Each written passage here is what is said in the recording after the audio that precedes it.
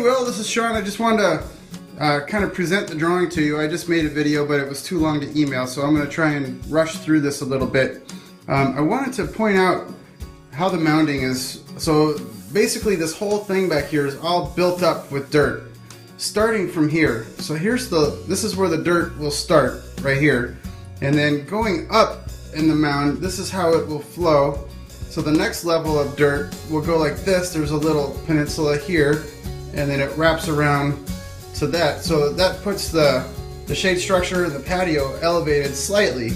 So if we gave a value to each of these lines, maybe nine inches or something like that, that would be how the vertical representation of the mounding works. So the third line would be here, kind of leaving the grass like gradual uphill, then flat up on top, and then a little bit back down to this peninsula, or you know, cruise over to the bridge, whatever. And then this would be pretty flat here. Then the third line would be like this, and then the fourth line is here. And so you can see that these three lines are very close together. So that means it's really steep. And so this will be kind of a waterfall effect here. And then the creek will sort of follow that second line and then trickle down into the pond.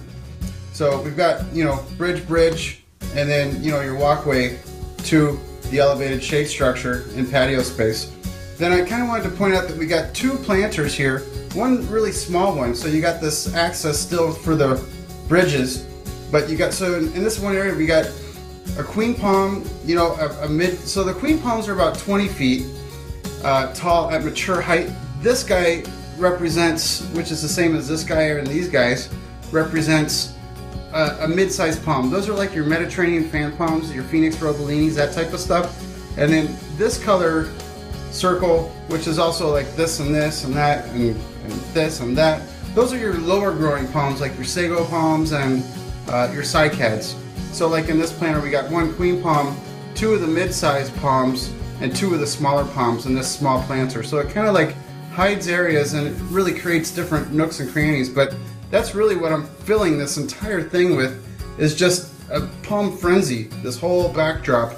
And you know, tall, medium, small, just the whole thing is in palms. So it makes maintenance really easy, fertilizing, taking care of it, there's no litter, and then having this beautiful grass across the whole area.